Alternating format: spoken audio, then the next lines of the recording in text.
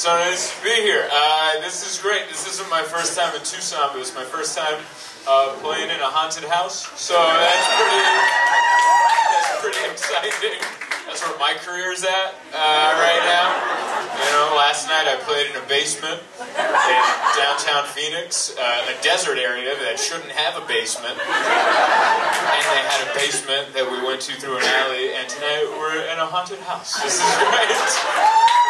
Wonderful. I love it. By the way, big fan. I love it. This is exactly why, like, I like hipsters. This is what they do. You know? Like, most people would look at this and be like, tear it down. Tear it down.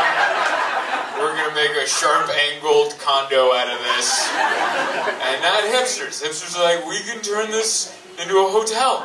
And a music venue. And a bar. And another bar. And a coffee shop. And a bar. More bars. What if you could drink everywhere? Exactly what they did. And I love it because everyone who works here is an authentic hipster. They're not the fake ones who just got the ears for no reason. You know, they weren't trying to fit in. They got them. They're real hipsters. Like they're polite and not polite all at the same time. That's a real hipster. Real hipsters have customer service and bad customer service in the same sentence.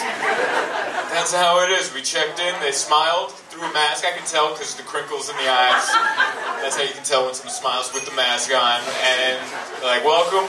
And here's the rules. And then, and then, but polite, but rules. And then I'm like, I have a question. And he was gone. So it was like a mixture of welcome and unwelcome. And I like that. That's probably how this place was in the 30s. You know? I think it was nice when Don John Dillinger showed up here. I called him Don Dillinger because I had one cocktail. That's where I'm at.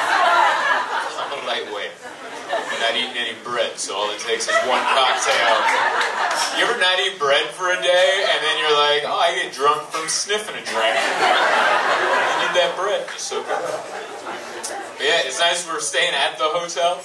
My fiance and I, we didn't know anything about it other than it's a cool looking old classic building. And while we're in the room, it's just a tiny room with a bed and a little desk. It looks like someplace like Bukowski got drunk and wrote, you know? That's what it looks like up there. And I'm like, ooh, this is artsy. And then we sat down and then quickly found out there's no plugs. There's no. Do you need to charge anything? Well, you don't. All right? Telling you, you don't. There's there's no plugs. And then uh, then she's like googling the hotel. She's like, this place is cool. And she's like, oh, it says this is one of the most haunted places in the entire country. And I'm like, huh? And I go, how haunted? And she's like, well, there's like a Wikipedia page for like each room, pretty much. And she starts going down the room numbers, going, yeah, you'll wake up with a lady on your bed on that one. This one will lock you in the bathroom. And she's like, and she, I'm waiting for our room number. That's all I'm waiting for. And I'm like, because there's no, you know what's worse than being in a haunted house? Is being in a haunted room. Because where do you go? You know? Like, it's not, there's no like, oh, maybe that's just a shadow. There are no shadows. You're in a small, everything's here, you know? You just gotta run out of there. That's terrifying. There's no TV. That's usually my defense. For I've, I've stayed in places that I assumed was haunted. I stayed at a hotel in uh, Aiken, South Carolina. And I, I walked in, it looked old, and I asked the lady behind the counter, she's a very nice southern lady.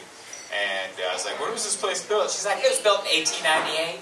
And I was like, wow, that's pretty old. I'm like, is it haunted? She's like, well. And I'm like, I'm looking for a hard no right now, man. Stern, you're fine. And she gave me a very loose. So that night, I spent the entire night with Sports Center on, on the TV, because in my mind, that will keep the ghosts away. In my mind, the ghosts will come by like, oh, he's still watching sports highlights. We'll have to catch him later. There's no TV up there. They're gonna know. Yeah?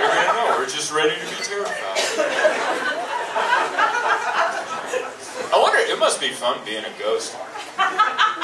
you know, because it's not always just scaring people. You just get to watch people when they think they're not being watched.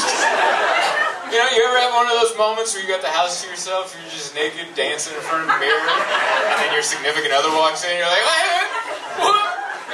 I thought Tuesdays were my day, you know, like... That's what ghosts get to see all the time without the interruption. Just like, wow, that's where you're taking this. Okay. Like before I came down, uh, my fiance was helping me put Vaseline on my tank because uh, because I worked out this morning. We ran on the treadmill and we had breakfast afterwards, so all my sweat dried while I was sitting. And I got a little rash in the taint, and then I'm like, how am I supposed to do this show? These people are expecting me to be all suave, and I got a rashy taint. So there I am, just doing like a yoga pose in the bed. She's just putting a little bit of Vaseline on my taint, and I'm like, John Dillinger's in the corner right now. This is why I won't leave. This is why I stay. Like I'm gonna go to boring ass heaven or hell, I'm staying right here. Watch, watch a grown man lube up his tank.